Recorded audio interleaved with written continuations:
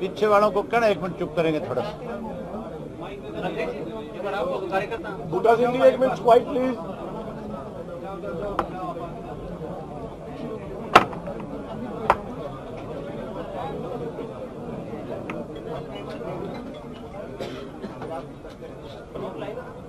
हमने आज हमारी प्रदेश कार्यकारिणी की मीटिंग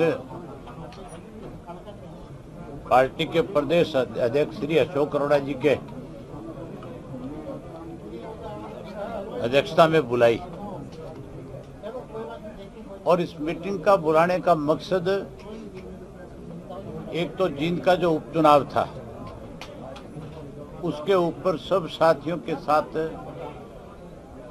चर्चा करने की बात थी। वहीं उसके साथ साथ विधानसभा का सत्र आ रहा है। और ये आखिरी बजट सत्र है। इसके बाद तो सौ ही फ़ीसदी अगला जो कोई विधानसभा का सत्र आएगा तो वो पार्लियामेंट के चुनाव के बाद या फिर विधानसभा के चुनाव के बाद ही नया सत्र आ सकेगा तो उसके लिए भी हमने अपने सारे पार्टी के जो पदाधिकारी हैं, उनको भी एक जिम्मेवारी लगाई, जहाँ विधायकों को इस बात के लिए उनसे चर्चा करी गई कि भाई आप अपने अपने इलाके की समस्या जो है, उसके लिए ज़्यादा से ज़्यादा अपने क्वेश्चंस भेजो, प्रश्न लगाओ। वहीं उन सब साथियों से भी कहे भी, आप भी हमें जो जो इलाके में प्रदेश की सरकार की तरफ़ से कोई कमियाँ, खामियाँ है, कहीं सड़क की दिक्कत है, कहीं पानी की दिक्कत है, कहीं बिजली की दिक्कत है, कहीं हॉस्पिटल की दिक्कत है, कहीं डॉक्टर्स नहीं है, कहीं मास्टर नहीं है, उन्होंने कहा कि वो एक लिस्ट बना करके आप हमें दो, ताकि इस बजट के सत्र के अंदर सारी बातों पे खुल करके सरकार के सामने प्रदेश की स्थिति को रखा जाए। और वहीं जींद के उपचुनाव पे भी हमने सब साथियों का आभार भी व्यक्त किया कि उनकी जो जिम्मेवारी लगाई थी, उन्होंने अपनी तरफ़ से जिम्मेवारी निभाई, लेकिन उसके साथ साथ उनसे ये भी कहा कि वो एक बार फिर उन बूथ पे जाकर के उन लोगों से ज़रूर मिले, जिन लोगों ने उनके साथ खड़े होकर के पार्टी के प्रति अपना मत दिया था। और जहाँ मत दिया उसके बाद भी। उन बूथों के ऊपर वोट नहीं आए। उसका क्या कारण रहा? अगर लोगों ने वोट डाले हैं तो उनसे एफिडेविट लेकर के आओ ताकि इलेक्शन कमीशन को एफिडेविट के साथ मिला जाए कि हमने अपना वोट डाला था, लेकिन कहीं ना कहीं एक कोई बड़ी मैनेजमेंट इसमें की गई है, जिसकी वजह से हमारे वोट को तो एन पिछली पंक्ति में ला करके खड़ा कर दिया। और जो लोग पिछली पंक्ति में खड़े थे, उनको कहीं आगे ले जाने का काम किया। उस पर भी हमने उनकी सबकी जिम्मेवारी लगाई है। आप लोगों से भी एक चीज़ ज़रूर कहना चाहूँगा। आप सब साथी वहाँ पे चुनाव के दौरान गए थे। मुझे बहुत सारे साथी आप में से वहाँ चुनाव में मिले। और बाकी और भी जिलों के पत्रकार जो है, वो वहाँ पे आते थे। रोज़ाना कोई ना कोई पत्रकार साथी मिलता रहता था।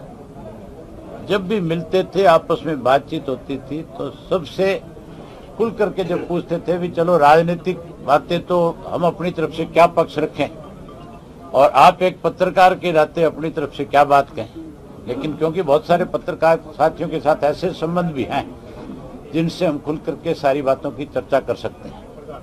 मैंने उनसे पूछा था कि आप बताओ कि क्या ऐसा संभव है कि 60 ऐसे बूथ हों जिनके ऊपर इंडियन नेशनल लोकदल पार्टी को एक, दो और तीन की संख्या में वोट मिले।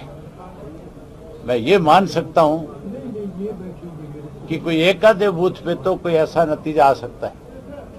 लेकिन वो भी हमारे लिए संभव बात नहीं है कि एक बूथ पे भी हम तीन या दो एक वोट तक सीमित रह जाए। हमारी पार्टी का संगठन कोई आज का नहीं है। बहुत पुराना संगठन है। आज भी हम बूथ के सत्र के ऊपर हमारे पास 20-20, 30-30 ऐसे कार्यकर्ता साथी हैं जो आज भी पार्टी के संगठन को मज़बूत करने का काम करते हैं। चाहे वो शहर है चाहे वो कोई कस्बा है चाहे कोई गाँव के बूथ है। लेकिन उसके बावजूद अगर नतीजा इस किस्म का आता है तो फिर सोई फ़ीसदी हमें इलेक्शन कमीशन के पास इस बात के लिए जाना पड़ेगा और जाकर के इलेक्शन कमीशन से इस बात के लिए रिक्वेस्ट करनी पड़ेगी कि इस चुनाव की निष्पक्ष जाँच हो। और आप अपने लेवल पे या किसी एजेंसी के माध्यम से इस बात की सौ फ़ीसदी जाँच कराएँ कि किस तरह से इस इलेक्शन के अंदर जहाँ आपका इसका ईवीएम का इस्तेमाल किया गया है, वहीं उसके साथ साथ जो पैसे का दुरुपयोग हुआ है, जिन लोगों ने लोगों के ईमान को खरीदने का काम किया है, जिन्होंने पाँच हज़ार से आठ हज़ार रुपए वोट तक के दिए हैं, जिन्होंने शराब बांटने का काम किया है। ऐसे लोगों की जानकारी भी इलेक्शन कमीशन हासिल करे और जिस पार्टी के लोगों ने इस चुनाव के अंदर पैसे का, शराब का इस्तेमाल किया, उन पार्टियों के ऊपर आने वाले समय में इलेक्शन के ऊपर बैन लगना चाहिए। अदरवाइज़ ये मान के चलो कि इस प्रजातंत्र प्रणाली में कहीं ना कहीं ऐसे लोगों की घुसपैठ हो जाएगी जो जहाँ प्रजातंत्र को कमज़ोर करेंगे, वहीं पैसे के बलबूते के ऊपर अपनी ताकत बढ़ाएँगे। जब वो लोग ताकत में आएँगे तो सौ फ़ीसदी भ्रष्टाचार को और ज़्यादा बढ़ावा मिलेगा क्योंकि उन्होंने अपना पैसा जो खर्च किया है, उसको पूरा करना है। हम विधानसभा के सत्र में भी खुल करके इस बात के ऊपर चर्चा करेंगे, खुल करके सरकार को और सरकार के साथ दूसरे जो लोग जिन्होंने पैसे का दुरुपयोग किया, उन सब की घेराबंदी करेंगे, उनसे सवाल करेंगे, पूछेंगे। और हम सबूत के साथ ये दिखाएँगे कि ये नोट जो है, जिन नोटों के ऊपर नंबर लिखा हुआ है, जो केवल और केवल शराब खरीदने के लिए आप लोगों ने, गरीब लोगों को दिया, उनकी भी सबके सामने पुष्टि करवाएँगे। और इलेक्शन कमीशन से मांग करेंगे कि इस इलेक्शन को रद्द किया जाए और रद्द करके ऐसे लोगों पे बैन लगाया जाए।